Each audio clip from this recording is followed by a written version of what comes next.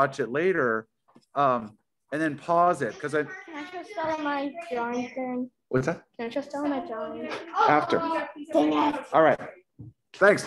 Yeah, of course. Okay, so to reiterate, we have our scale. This is the height of our person, and each section we divided it into one, two, three, four, five, six, seven, eight sections.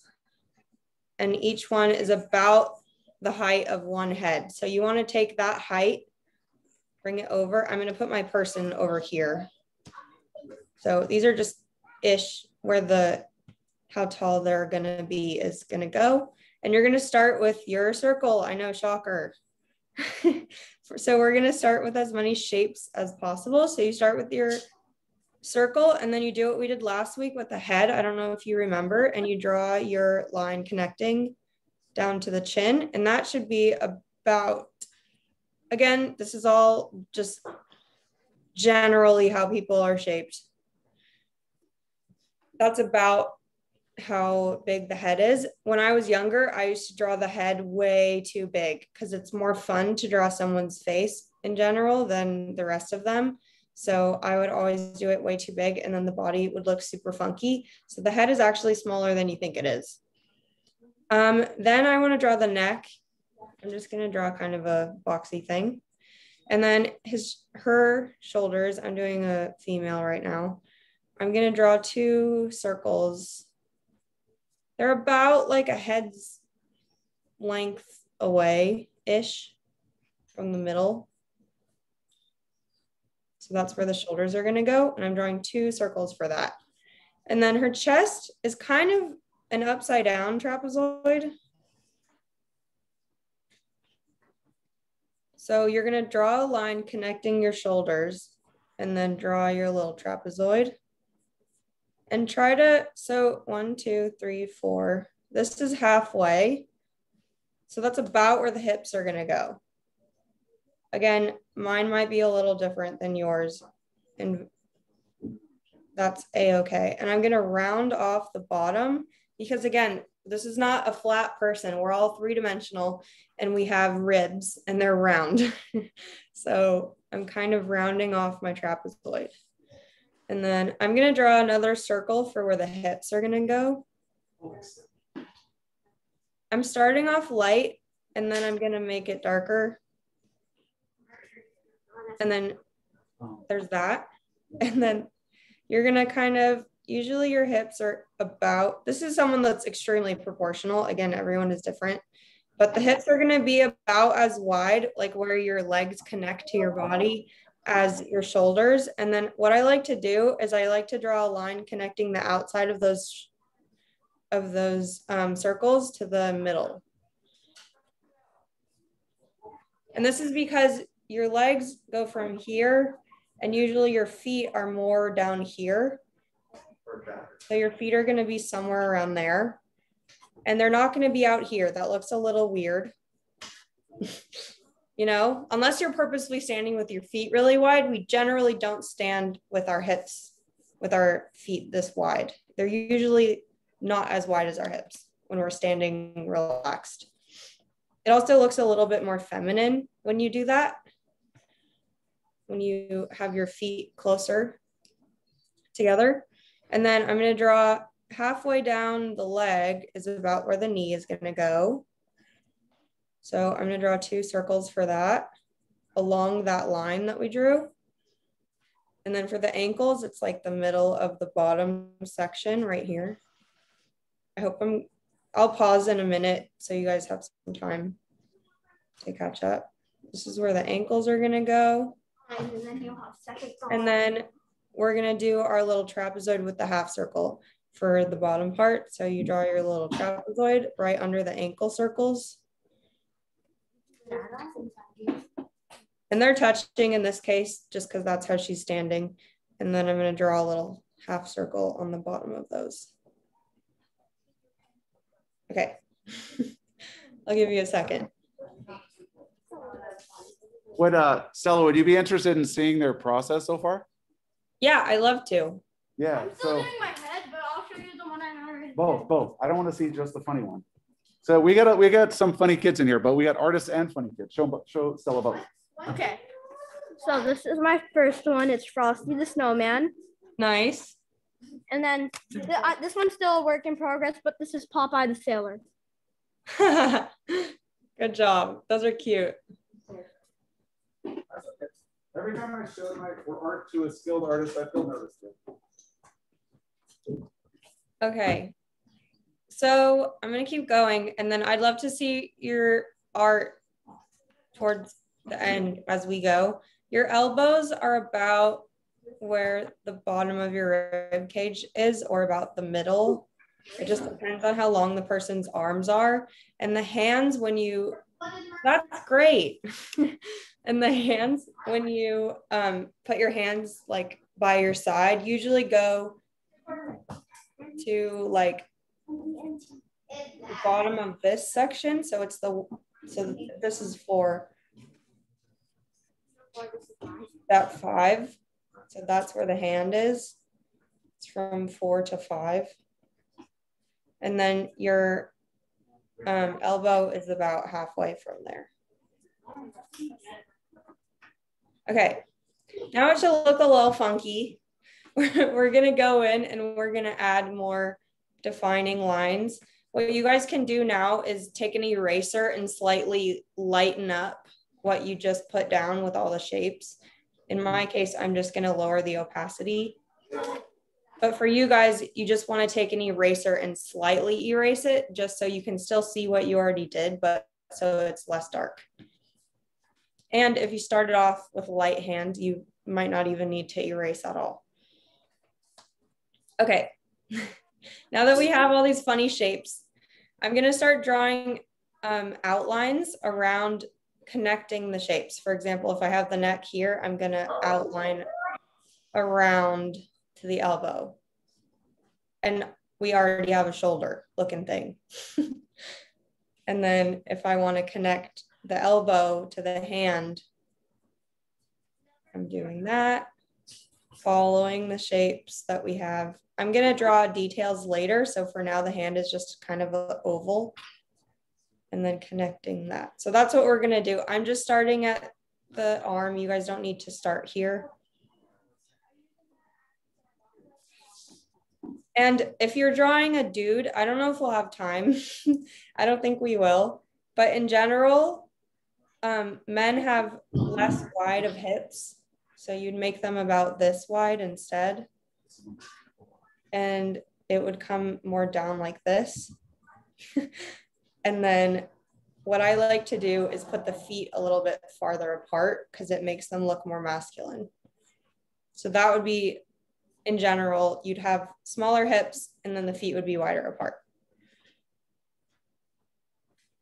But we're doing a girl right now. Okay. So I'm gonna keep doing that. So I'm connecting, again, we, we're not connecting everything, it's just the outside. So this is the outside of my trapezoid. I'm creating a waist by connecting the curve here. I'm curving it here from the trapezoid to the circle that we drew before. And then some women have these things called hip dips where your hips kind of go in and then back out. Some, some don't. But I guess here, because I put the circle so wide, it's kind of dipping in and then going around again.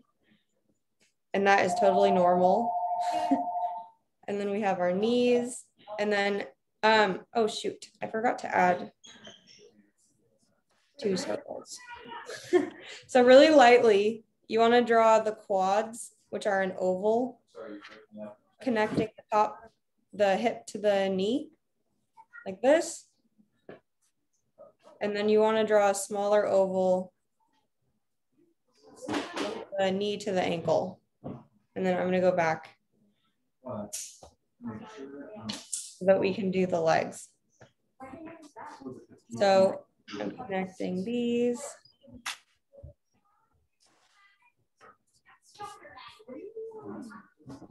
And this is like the easy part. We already did all the hard work. We set out all of our proportions. We're just going in and outlining what we have down and rounding everything out.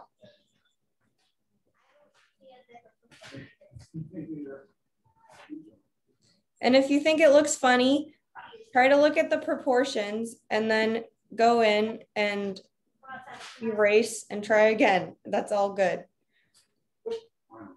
Like this leg looks a little funky, but I'll fix it later. I'm gonna give her slightly thicker quads. Okay. And then I'm gonna do the same thing on the other side. This girl's very curvy. I made her hips a little bit too wide. Um, What's their name? Give me a name. Okay, Greg, Lucy had to. Oh, Lucy E. and then I'm gonna give her a collarbone. When I like to draw collarbones, I just do kind of a little U shape really lightly along the chest, the top, like this line up here. And then I just draw lines connecting the top of the circles on the shoulders in towards that little U shape. And then it kind of gives the illusion of collarbones. Okay. Now we have our general human.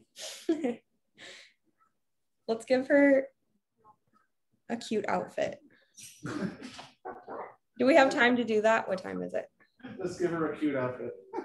Give her a cute outfit. Punk rock outfit. Yes. No. yes. A what? Punk rock outfit. I, I was watching some punk rock teenagers this weekend, so I said punk rock outfit. Oh, And a Cute outfit is good. we could give her kind of a punky outfit or like an e-girl outfit. that would be fun. Um, I'm gonna keep. I'm gonna add some of the guidelines back in. Okay, and then if you want to erase your little guidelines, you should end up with something kind of like that. it's not perfect. It's not going to be perfect the first time. You'll get. You're gonna have to practice, and it's not going to look very good. And that's all good. That's fine.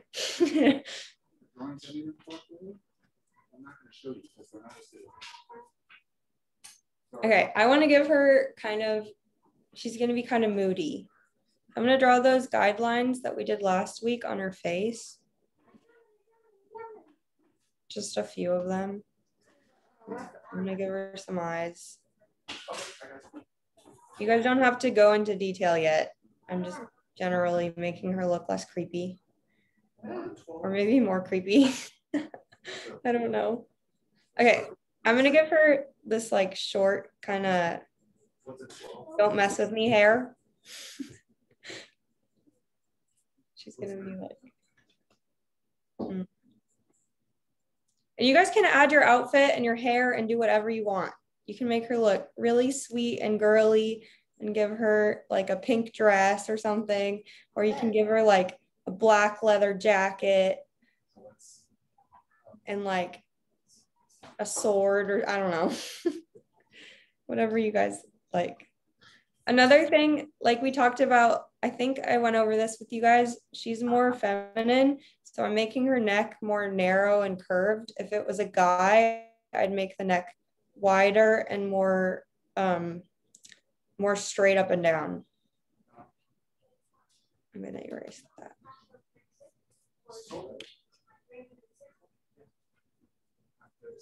Okay. Let's give her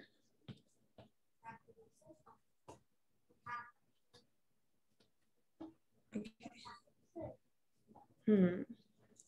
I think I'm gonna give her some like leather pants and a really thick belt with like a plastic buckle, kind of like a car seat buckle. They look like that, I think, right? Probably sure. Great cooperative. Carrying the things. But this is the fun part. You guys can add whatever you'd like or not add whatever you'd like. I'm gonna give her a thumb and just generally some fingers.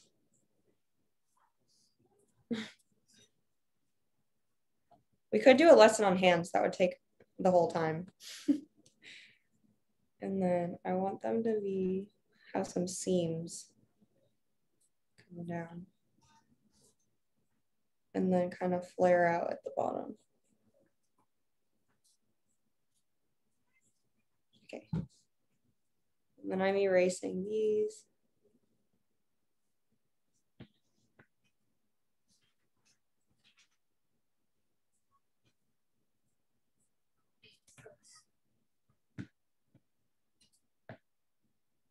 Okay, and then she's gonna have like almost a turtleneck.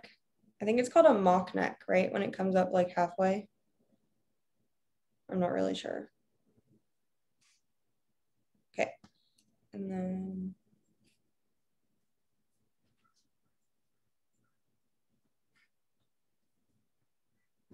this is like the hem of her long sleeve. And then I think it would be cool if she had like a big chain on or something.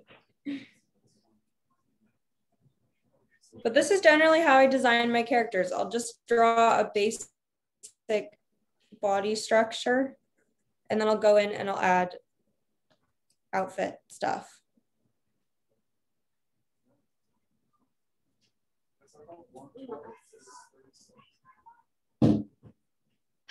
I'm adding some wrinkles on her shirt. And then I'm gonna give her some thick eyebrows. Can I show you mine? Okay, I don't know if you can hear you. You gotta go close to. Can I show you mine, Stella? yeah, I'd love to. Oh, that's awesome. Wow. Thank you for sharing. I love, I can see all the guiding lines that you did. That's great. Anyone else? I want to see you guys what you've done. What have you done with the place? and not on purpose. Yeah. And that's why, see how, see Stella's lines here? Remember those lines were here? Those tell you like where, like how- big things should be compared to each. Sure, oh, sure. No, not yet. Not yet. Oh, sure. If it's hot, let me know. Turn the AC down or uh, AC, whatever. Make it cooler. Yeah. Uh, I can. I know. All right. So. Wait, so what's a third of three sixty? Uh-huh. No, half of three sixty is one. What's um? So your three sixty, your three sixty divided by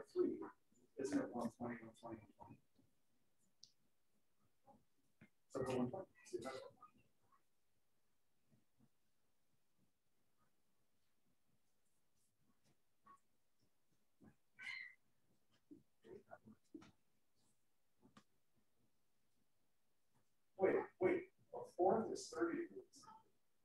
Okay, it's 6. So what's 360 divided by 6?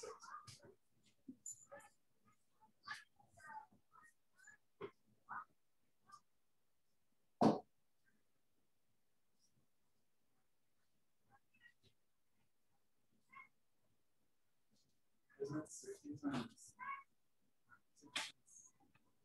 6.6? 6. Because what's sixty, think about it. Sixty times six is three hundred sixty. The sixty times six. Do you guys have any questions for me? Do you need help with any specific part? When did you learn how to do the hands like that? Do the hands? Yeah. Um, well, when you are drawing something detailed, you first want to make a general shape. So I just like to draw an oval to suggest that there's a hand there. And then when I go back in and I'm actually finishing a drawing, so like, um, I don't know, I'll, if I'm actually going in and finishing a drawing, I'll break it into even more shapes. So if I'm drawing a hand, I'm breaking that one oval that I started with into more shapes. So this is gonna end up being the thumb And these are like the rest of the fingers. How many drawings did you make? What? How many drawings have you done in your whole life, Stella?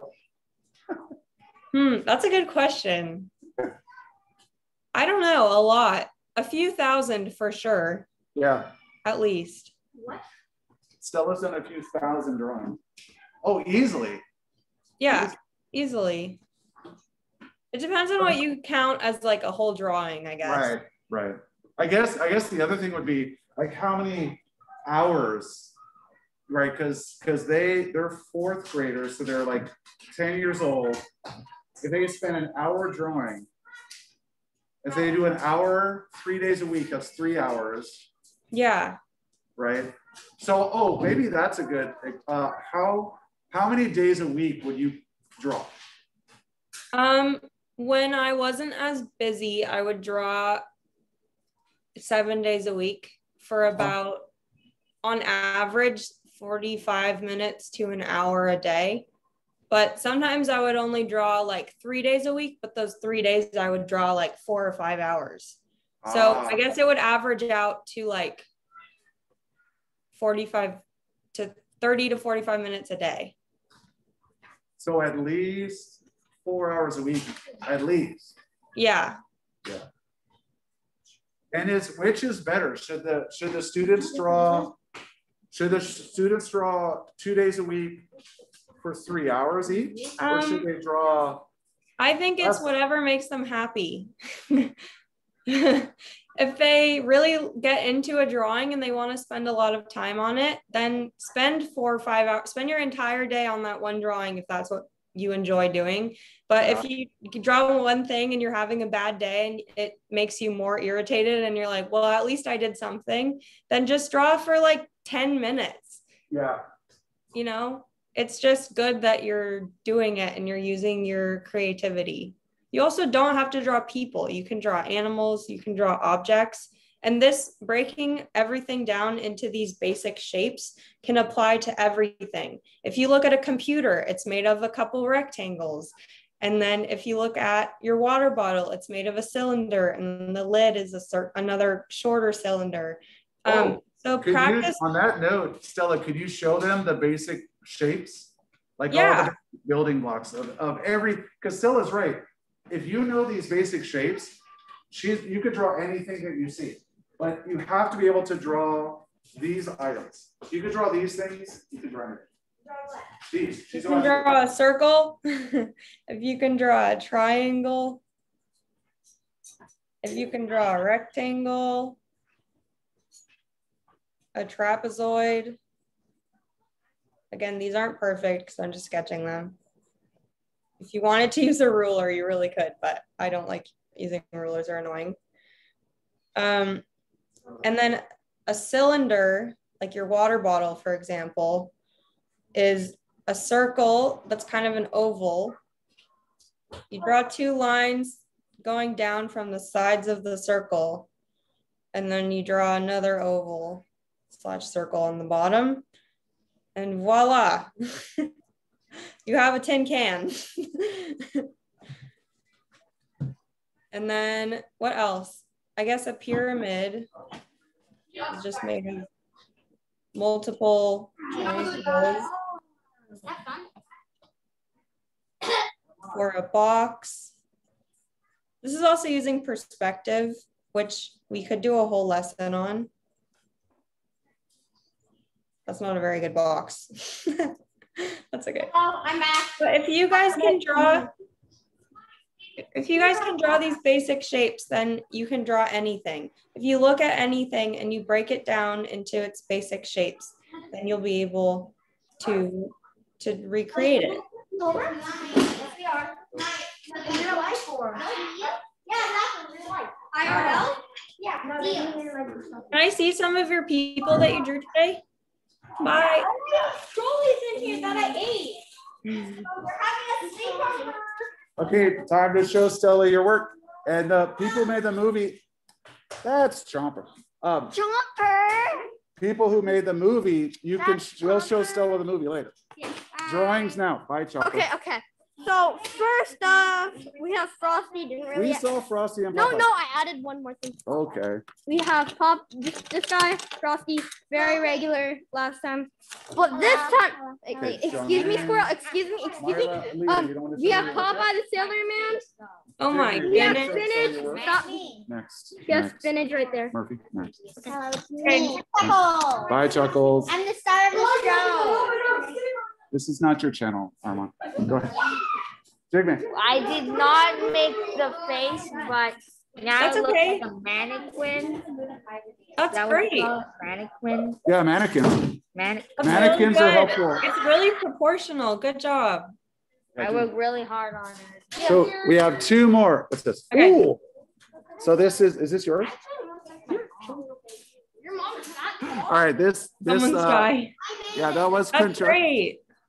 And then where's the, oh, yeah, young man. Oh, Jigman, bring yours up. Marley, you want to show, tell yours? Oh, you did already? There, we got one more. Okay. Pack and stack, please. Already packed and stacked. Mine is so bad. For the No, more you not. practice, buddy, that is that is good. The more That's you practice. fantastic. So Stella, when you work, how often are you dissatisfied with your own work? Um, about well, I think you get better at it as you go, but when I was their age, about 90% of it I would throw away. Stella, Stella herself, she would look at her drawings and go, "It's okay, but it's not good enough." So if you think it's not good enough, that that means you're an artist. Oh, Artists say that it's not good enough yet. exactly. This is not good enough. All Am I an artist now? thanks, Stella. Thank you You're for having welcome. me. That was great. Have a good weekend. You too. Bye, everyone. Say- Thank you, Stella.